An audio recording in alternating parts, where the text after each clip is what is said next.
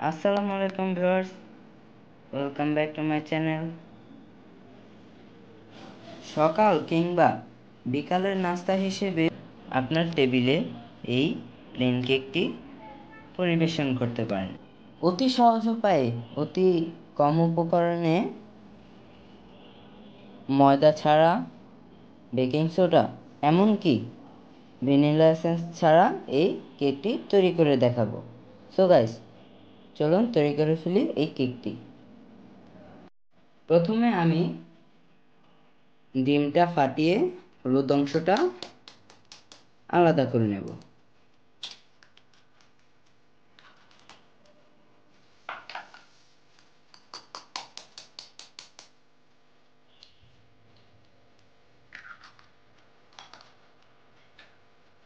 ডিমটা সরাসরি ফ্রিজ থেকে নামিয়ে ফোম তৈরি করা যাবে না। ডিমটাকে অন্তত এক ঘণ্টা আগে ফ্রিজ থেকে বের করে নর্মাল করতে হবে। আমি প্রথমে এই হলুদ অংশটা উঠিয়ে নেব।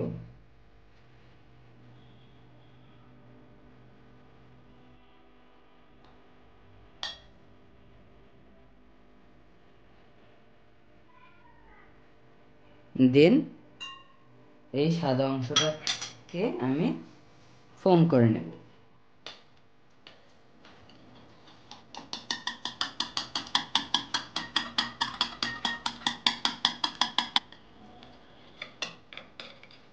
আমি এখানে কিছুটা ফোম করে নিয়েছি। এখন দিয়ে দেব চিনির গুঁড়া। আর এখানে প্রায় এক কাপের মতো চিনির গুঁড়া আছে। এটাকে আমি একটু একটু করে দিয়ে মিশিয়ে নেব।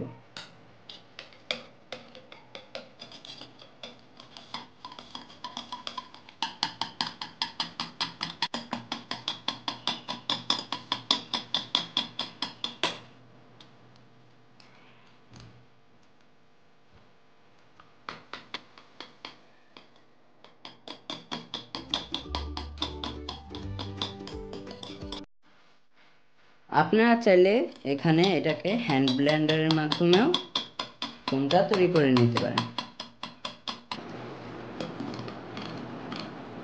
সাদা অংশটা আমার ফোম হয়ে গেছে। এখন আমি যে বলে হলুদ অংশগুলো রেখেছিলাম, সেখানে দিয়ে দেব চালের গুঁড়ি এক কাপ।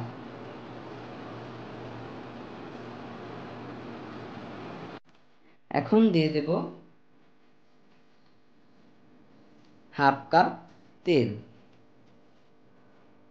আর দিয়ে দেব দুই চা চামচ পরিমাণ গুঁড়া দুধ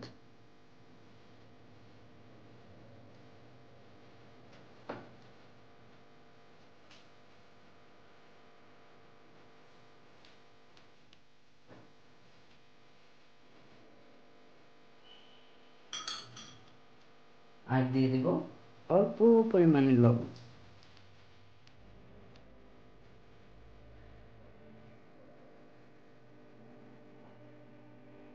যেহেতু আমরা এখানে ভ্যানিলা এসেন্স ইউজ করছি না, তাই এখানে দিয়ে দেব অল্প পরিমাণে এলাচ গুঁড়া।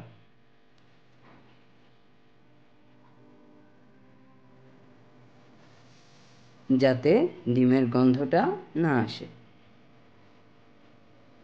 আর অর্ধেক চিনিটা আমি এখানে আস্তে আস্তে দেব আর নাড়ব।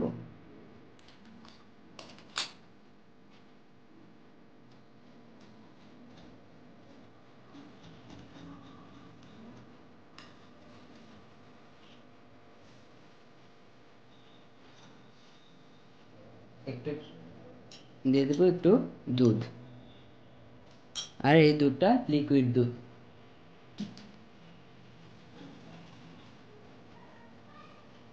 আপনারা চাইলে এই দুধটার পরিবর্তে পানিও দিতে পারেন।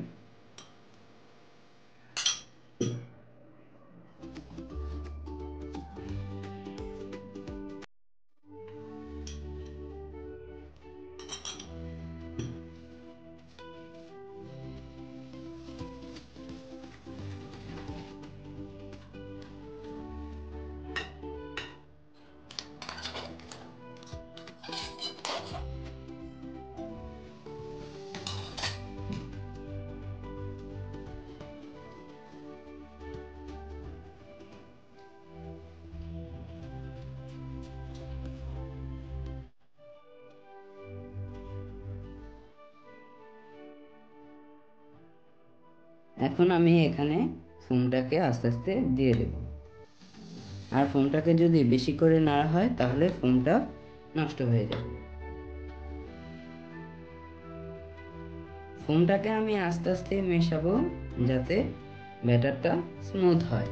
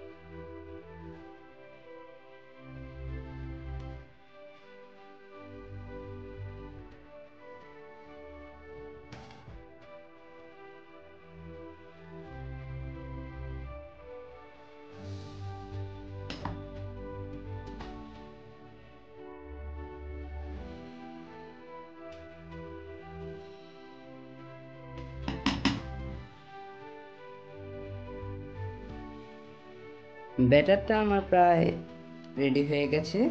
এখন এটাকে আমি একটি বক্সে ঢেলে নেব। এখন আমি একটি বক্সে অয়েল ব্রাশ করে নেব।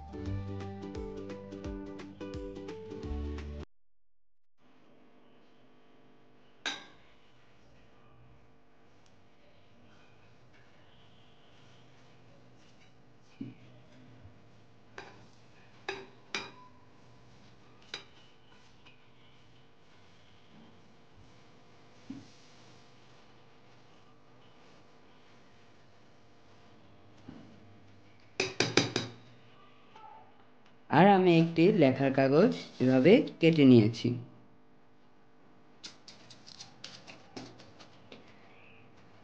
এখন আমি এখানে ব্যাটারটাকে ঢেলে দেব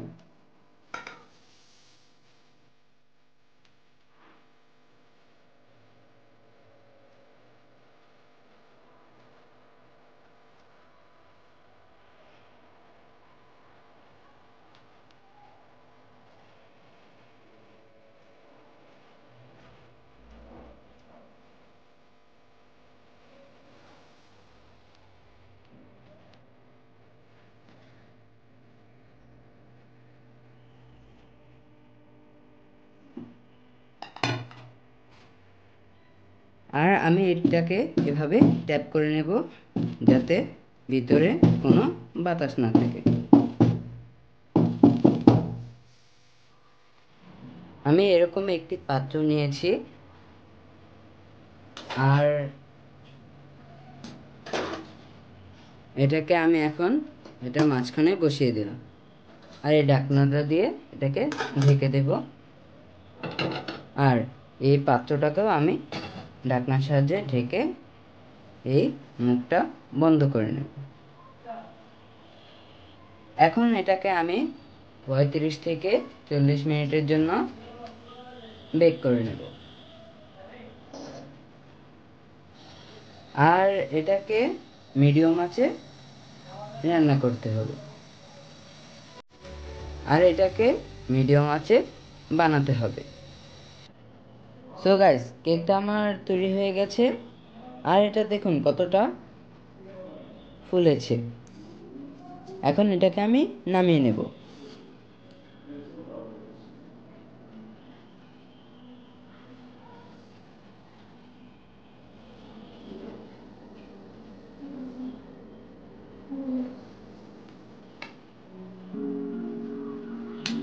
বেকিং পাউডার আর ময়দা ছাড়া যে এত সুন্দর কেক বানানো যায়, সেটা আমার জানা ছিল না। আর দেখুন গাইস এই কেকটা কতটা সফট হয়েছে। আর এটার কালারটাও অনেকটা সুন্দর হয়েছে। সো ভিউয়ার্স এই কেকটা বাসায় বানিয়ে খাবেন এবং যদি কেকটা ভালো হয়, মজার হয়, তাহলে একটি লাইক করবেন এবং এই রান্নাটা শেয়ার করবেন এবং আমাদের চ্যানেলটা কিন্তু সাবস্ক্রাইব করতে ভুলবেন না। আল্লাহ হাফেজ।